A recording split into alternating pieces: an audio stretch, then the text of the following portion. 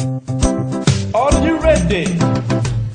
We had one whole delicious apple pie and five hungry people to share that pie. We divided that pie into five equal slices. Yeah, man. Five slices. My share was one slice of that pie. Out of five equal slices of the whole pie, I got one fifth of the pie. And that's a fraction, a proper fraction. Here we go. A fraction has a denominator that goes below the line. Shows how many slices the whole pie has. Five. A fraction has a numerator that goes above the line. Shows how many slices I have.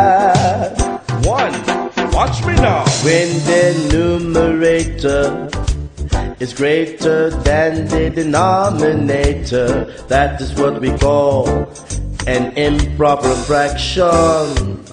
13 over 4. Sometimes we have a whole number together with a fraction.